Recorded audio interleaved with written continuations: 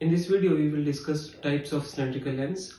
So cylindrical lens is basically composed of three types. Number one type is simple cylindrical lens. In this cylindrical lens, the curvature is present in one meridian only. Uh, that can be concave or convex.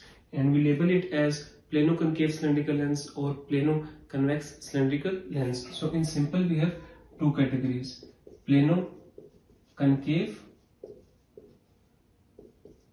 or we have plano convex. The second category is compound cylindrical lens.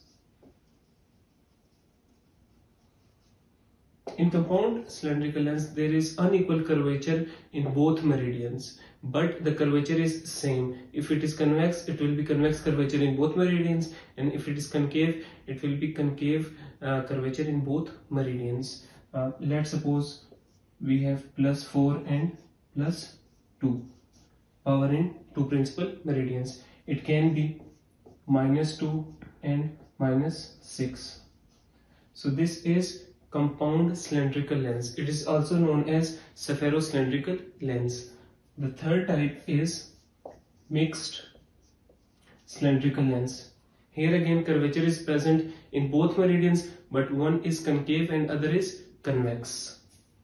One is concave, other is convex.